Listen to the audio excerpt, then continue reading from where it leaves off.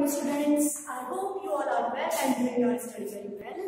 Uh, as अब हम लोग चैप्टर नंबर ट्वेल्व पर डिस्कशन कर रहे हैं ऑर्गेनिक केमिस्ट्री होती है डिस्कशन शुरू कर दिया इसका और इन अ प्रीवियस लेक्चर हमने सीखा है कि कैसे हम नॉमन क्लेचर को स्टेब्लिश करते हैं ऑर्गेनिक केमिस्ट्री के कंपाउंड्स को या ऑर्गेनिक कंपाउंड्स को तो हमने थोड़ा सा आइडिया लिया था कि हमारा जो भी ऑर्गेनिक कंपाउंड है, उसका यदि हमें नेम देना है अकॉर्डिंग टू द आईयूपीएसी नॉमन तो आईयूपीएसी सिस्टम के अकॉर्डिंग जब हम उसका नॉमन क्या करते हैं नेम देते हैं उसको या उसका नॉमन करते हैं तो उसके लिए हमने बात करेंगे कि हमारे पास तीन इंपॉर्टेंट चीज़ें होती हैं, एक इसका प्रीफिक्स दूसरा root chain and third is suffix तो हम इसके अकॉर्डिंग क्या करते हैं, उसका नेम देते हैं।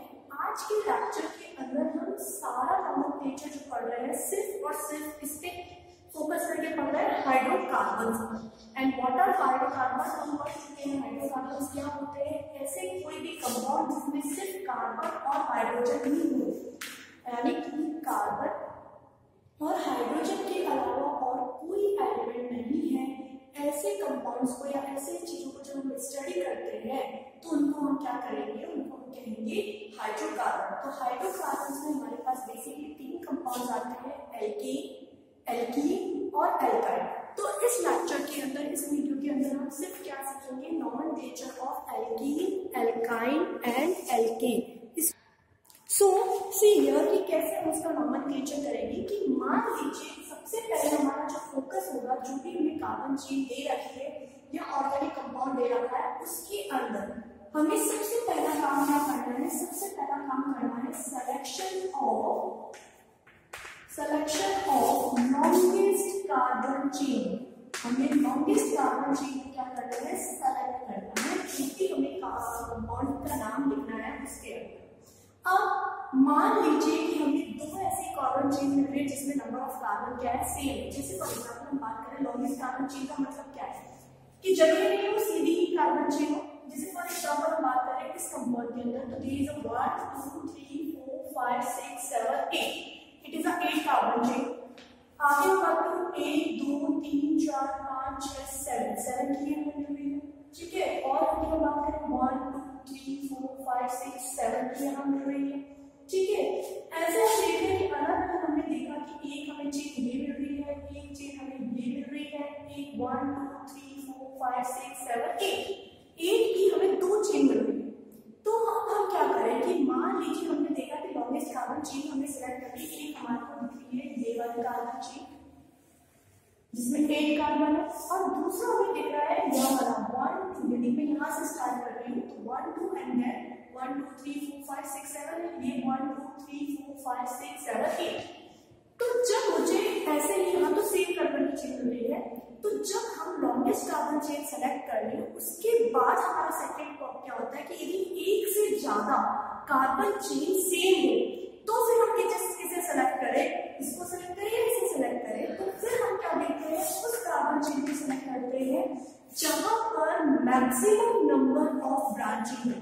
फिर लॉन्गेस्ट कार्बन चेन सिलेक्ट करनी लॉन्गेस्ट कार्बन चेन सिलेक्ट करने के बाद if same longest carbon chain present same longest chain of carbon is present then, what we have to do, we have to do select those carbon chain which have more number of branching तो हमें वो carbon chain select करनी है जहाँ पर मोर branching हो, ज़्यादा branching जहाँ पर हमें मिले।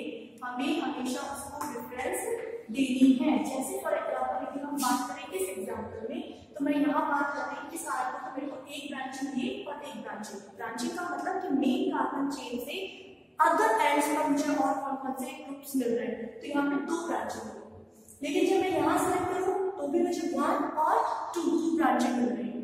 तो जब सेम ही तरह की ब्रांचिंग मिल रही थी तो हमें कोई से भी करेक्ट सेलेक्ट कर ले उसका नाम उस कंपाउंड का, वही का, वही आएगा जैसे कि हम इस एग्जांपल का नाम लेके गए फॉर एग्जांपल यहाँ हम बात करें तो यहाँ हम बात करें वन टू थ्री फोर कि ये है one two three four five वहाँ से देखिए यहाँ पे दो कार्बन है। दो कार्बन का मतलब ये कैसे जुड़ा हुआ है? Join like this C H two C H three ये इस तरह से जुड़ा हुआ है। ये पहले सीख चुके हैं कि हम ऑर्गेनिक कंपाउंड को एक्सपेंडेड और जो है कंडेंस फॉर्म में लिख सकते हैं। तो ये कंडेंस फॉर्म में लिखा हुआ है।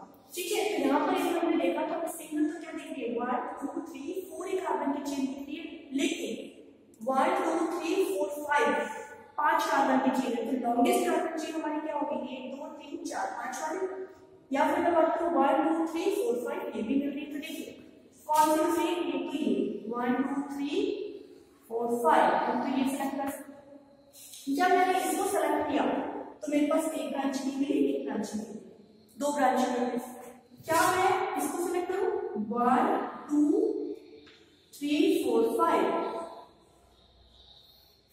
तो जब हम इसको सिलेक्ट कर रहे हैं तब भी हमें क्या करनी है? एक ब्रांच नहीं मिली एक ब्रांच नहीं दो देखिए तो इनमें से कौन सी सिलेक्ट कर सकते हैं? हम कोई सी भी सिलेक्ट कर सकते हैं। इसलिए हमें ऐसा कुछ भी नहीं है कि जब हमें सेम ब्रांच कर रही है सेम है, सब कुछ सेम है तो हम कोई सा भी चेन लेके क्या कर सकते हैं, नाम को लिख सकते हैं या उसकी रीडिंग कर सकते हैं। लेट्स टेक एग्जांपल यहाँ यह 1 2 3 4 5 5 कार्बन की चेन है 1 2 3 4 5 कुछ भी कर सकते हैं। 1 2 तो हमारे पास दोनों साइड सेम है, दोनों कार्बन हम भी इस कार्बन ले सकते ठीक है? अब यदि हमारे पास कार्बन चेन के अंदर डबल बॉन्ड या ट्रिपल बॉन्ड प्रेजेंट हो तो हमें उसी कार्बन चेन को सिलेक्ट करना है, जिसमें डबल बॉन्ड या ट्रिपल बॉन्ड हो। यानी कि उस type of longest carbon chain को देखेंगे, लेकिन उस लॉन्गेस्ट कार्बन चेन में यदि डबल बॉन्ड नहीं आ रहा है या ट्रिपल बॉन्ड नहीं आ रहा है तो फिर हम उस लॉन्गेस्ट कार्बन चेन को नहीं सिलेक्ट करेंगे। हम उस कार्बन चेन को सिलेक्ट करेंगे, जहाँ पर डबल बॉन्ड या ट्रिपल बॉन्ड क्या हो प्रेजेंट है। तो एक एक करके हम एग्ज़ाम्पल को इसमें बात करते हैं। अब ये हमारी बेसिक चीज़ अब हम ब्रांचिंग का ब्रांचिंग कि हमारी जो ब्रांचिंग है, उसको हम क्या लिखते हैं? प्रीफिक्स में लिखते हैं, यानी कि हमारा जो मेन नेम है मेन रूट चेंज है, उससे पहले हम क्या करते हैं? ब्रांचिंग का नाम देते हैं और according to the alphabetical order के अंदर हम देते हैं। ब्रांचिंग का नाम हमेशा किसमें दिया जाएगा? अल्फाबेटिकल ऑर्डर में। इफ़ डिफरेंट डिफरेंट टाइप्स के प्रेजेंट हो ब्रांच की प्रेजेंट हो अल्फाबेटिकल ऑर्डर के अंदर हम क्या करते हैं, उसकी ब्रांचिंग का नाम देते हैं। अब बात आती है कि ब्रांचिंग का नाम हम कैसे तो ब्रांचिंग का नाम देने के लिए हमारे पास जो है, वो सबसे पहला है, कि ब्रांचिंग का नाम जो है, वो किसके फॉर्म में दिया जाता है? ये जो ब्रांचिंग होती है, जो कार्बन चेन की है, वो क्या कहलाती है? एल्काइल ग्रुप कहलाती है। एल्काइल ग्रुप एल्काइल ग्रुप का मतलब क्या है? जब हम एल्केन में से एक हाइड्रोजन को क्या कर देते हैं एलिमिनेट कर देते हैं। तो जो हमारे पास कंपाउंड आता है, उसको हम क्या बोलते हैं? एल्काइल ग्रुप बोलते हैं। जैसे कि हम पढ़ के आए हैं क्लास टेंथ के अंदर भी कि हमारे पास ये क्या है? सी एच फोर इसको हम बोलते हैं मिथेन मिथेन में से हमने एक हाइड्रोजन माइनस कर दिया, यानी कि एक हाइड्रोजन निकाल दिया। तो क्या हुआ? कार्बन की वैलेंसी फ्री क्योंकि इसके पास क्या है? एक हाइड्रोजन नहीं है। और क्या बचा? सी एस थ्री यानी कि ये सी एस थ्री जो मॉलिक्यूल है, वो इसकी एक वैलेंसी क्या इनकम्प्लीट है, और ये क्या कर सकता है? ज्वाइन हो सकता है दूसरी कार्बन चेन से। तो ये सी एस थ्री अब क्या कराएगा हमारा मिथाइल से यदि हम बात करें इसकी C2H5 ये क्या है C2H5 इथेन तो इथेन में से हमने एक हाइड्रोजन को एलिमिनेट कर दिया। ठीक है? C2H5 देखिए। C2H6 सॉरी CH3CH3 ये क्या कराएगा इथेन. तो C2H6 क्या है? इथेन है और इथेन में से हमने एक हाइड्रोजन को क्या कर दिया एलिमिनेट कर दिया। तो हमारे पास क्या आया? C2H5 तो C2H5 जो ग्रुप है, वो क्या कराएगा इथाइल ये क्या कराएगा इथाइल तो इस तरह हम क्या करते हैं? ब्रांचिंग का नाम हैं। देखते हैं कि ब्रांचिंग में कितने कार्बन है और उस कार्बन के अकॉर्डिंग हम ऑलरेडी सीख चुके हैं कि कौन यदि एक कार्बन होता है तो हम मिथ करते हैं, दो कार्बन है तो एक थ्री कार्बन आ गया तो प्रो फोर है तो ब्यूट फाइव है तो पेंट ये हम ऑलरेडी प्रीवियस लेक्चर में सीख चुके हैं। तो जितने कार्बन है, उसके अकॉर्डिंग हम उसमें क्या लगा देते हैं? इन लगा देते हैं, यानी कि methyl propyl ethyl butyl that are the basically alkyl group जो क्या होते हैं एज अ ब्रांचिंग में यदि हमारे को मिलता है तो हम इसको यूज़ करते हैं। अब देखिए फिर हम क्या करते हैं? नेक्स्ट हमारा क्या काम होता है? हमने क्या किया, सबसे पहले लॉन्गेस्ट कार्बन सेलेक्ट करें। सेकेंड हम क्या देखते हैं कि उस कार्बन चेन को सिलेक्ट करते हैं जिसके अंदर क्या हो मैक्सिमम नंबर हमारे ब्रांचिंग मिले। जहाँ पर हमें मैक्सिमम ब्रांचिंग मिलती है उसके हम सेलेक्ट करते हैं। थर्ड हम क्या काम करेंगे कि जो ब्रांचिंग है, उनको हम क्या करेंगे? नंबर देंगे। ब्रांचिंग को हम नंबर कैसे देते हैं? यानी कि नेक्स्ट हमारा जो प्रोसीजर है, वो प्रोसीजर क्या है? The giving the number of तो देखिए क्या करता है, अब हमारे क्या करना है ब्रांचिंग का नंबर देना अब ब्रांचिंग को हम नंबर कैसे देते हैं? कि हम ब्रांचिंग की नंबर ऐसे देंगे कि हमें लोएस्ट नंबर जो है, वो असाइन करना होगा, किसके अंदर lowest number assign on the branching branching को क्या मिलना चाहिए? छोटा सा छोटा नंबर मिलना चाहिए। और, ठीक है, अब कैसे? देखिए, हम कुछ एग्ज़ाम्पल पे लेके बात करते हैं मान लीजिए हमारे हमने सेलेक्ट कर दी इसके अंदर ये लॉन्गेस्ट कार्बन चेन ठीक है, अब हमारे पास देखिए दो ब्रांचिंग मिल रही है एक मिल रहा है मिथाइल और दूसरा मिल रहा है। अब हम ब्रांचिंग किधर से करें, हमें कंफ्यूजन है। तो हम क्या करें? हमें लें यहाँ से ज़रूरी नहीं है, हमेशा इधर से ही स्टार्टिंग होगी।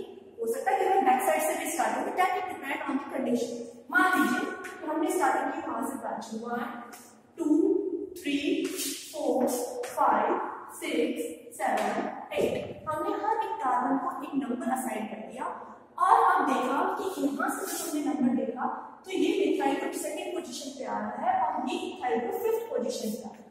अब क्या यदि मैं पीछे से कंप्लीट करती हूँ तो क्या होता है? One two three fourth five six seven तो फोर्थ पे और सेवन आएगा जबकि मैं यहाँ से कर रही हूँ तो कहाँ आ रहा है। सेकेंड और फिफ्थ पे आ रहा है। ऑब्वियसली हमें पता है कि यहाँ से जब हम से चल रहे लेफ़्ट टू राइट चल रहे हैं तो क्या हो रहा है हमारे पास? जो नंबर आ रहे हैं ब्रांचिंग आ रही है हमारे पास सेकंड पे मिल रही है और दूसरी ब्रांचिंग फिफ्थ पे मिल रही है। यानी कि ये हमारी जो नंबरिंग की गई है, वो बिल्कुल सही है। हमें हमेशा ब्रांचिंग को लोएस्ट नंबर देना होता है लोएस्ट ठीक है? आप नाम कैसे बात करी सबसे पहले हम क्या करते हैं? प्रीफिक्स लगाते हैं यानी ब्रांचिंग का नाम देते हैं। फिर हमारी ग्रुप चेन का नाम देते हैं। ग्रुप चेन का मतलब उसके अंदर कितने कार्बन है, और फिर हम लगाते हैं सफिक्स हाँ जब भी हमारे कोई भी कंपाउंड कोई भी कंपाउंड जब हमारा सिंगल बॉन्ड से कार्बन से जुड़ा है तो हम जो सफिक्स लगाते हैं, या उन कंपाउंड्स को क्या बोलते हैं? एल्केन कि जब हमारे सारे कंपाउंड जो है किससे जुड़े हैं सारे जो कार्बन है सारे के सारे कार्बन जो है, उससे कुल बॉन्ड से जुड़े हैं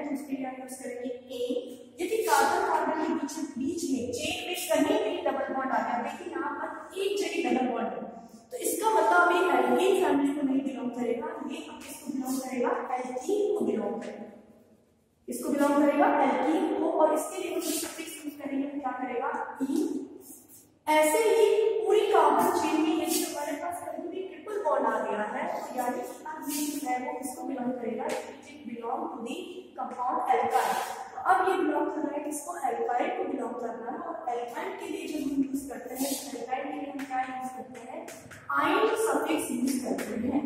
तो अब देखिए हम नाम कैसे लिखेंगे? यहाँ देखिए मिथाइल और एक इथाइल। अब इथाइल और मिथाइल जो है, इनका हमें नाम लिखना है according to alphabetical order methyl और इथाइल।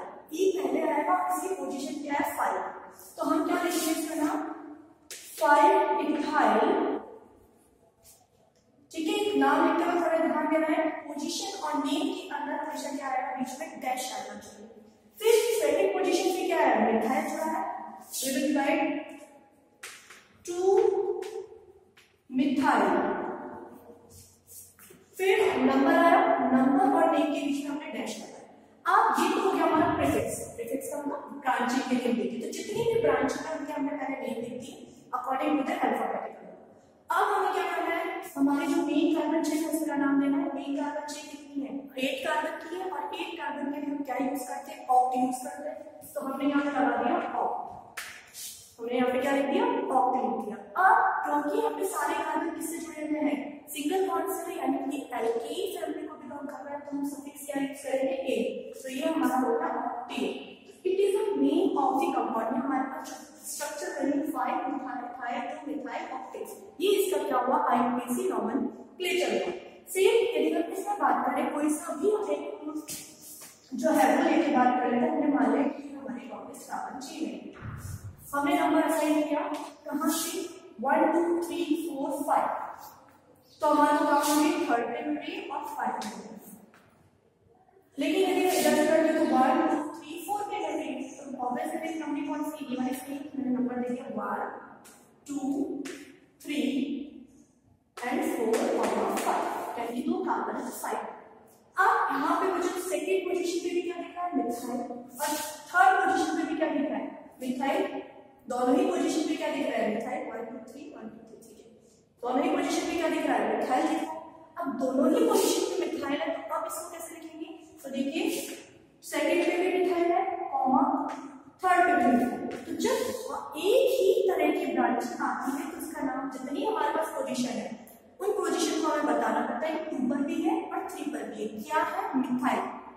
कितने नंबर लिखे हमने? दो नंबर लिखे हैं कि दो मिथाइल प्रेजेंट है, इसलिए हमने इसमें क्या लगा दिया डाई इसलिए हमने आज क्या लगा दिया ट्राई मान लो जब हमें तीन मिथाइल ग्रुप मिलते हैं किसी कार्बन चेन में तो हम क्या लगाते हैं? ट्राई पाँच मिलते तो हम लगाते थे क्वाड पेंट ठीक है? तो टू थ्री डाई मिथाइल। ये तो हो गई इसकी ब्रांच का नाम। अब लॉन्गेस्ट कार्बन चेन कितनी है? पेट पाँच की है। पाँच के लिए हम यूज़ करते हैं पेट और इसमें क्या है हमारे पास? सारे सिंगल बॉन्ड है तो ये हो जाएगा पेंटेन तो ये हमारा नाम आ गया फॉर एग्ज़ाम्पल दिस तो यहाँ पर देखिए वन टू थ्री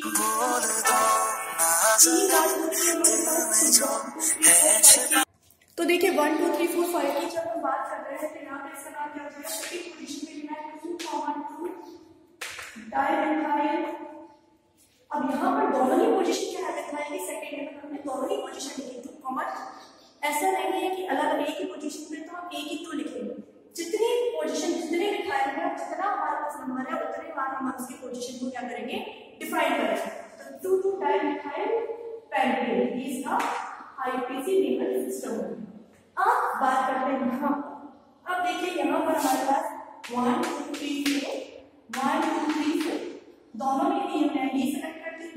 हैं ये ब्रांच आएगी और ये सेलेक्ट करते हैं तो ये ब्रांच कोई सा भी हमें सेलेक्ट करने मान लो हमें ये कार्बन चाहिए अब हमें क्या देना है? नंबरिंग अब नंबरिंग हमें किसको देनी है? इस तरह से देनी है कि हमें डबल बॉन्ड और ब्रांचिंग दोनों को क्या मिले? नंबरिंग कम से कम मिले लोएस्ट नंबर असाइन तो हमने यहाँ से शुरू किया one two three and second position पे डबल बॉन्ड आ रहा है और थर्ड पोजिशन पे मिथाइल ग्रुप आ रहा है लेकिन यदि हम नीचे से शुरू करते हैं तो वन टू सेकेंड ही पोजिशन पे मिथाइल ग्रुप मिल रहा सेकेंड पोजीशन पे हमें क्या मिल रहा है डबल बॉन्ड इसका मतलब प्रेफरेंस क्या हमारे लिए? कि हमें लोएस्ट कार्बन लोएस्ट नंबरिंग लेना है तो हम लास्ट में नीचे से इसकी नंबरिंग करें तो वन टू थ्री फोर नौ कैसे करते हैं हमारे पास? प्रेफरेंस लिखना है?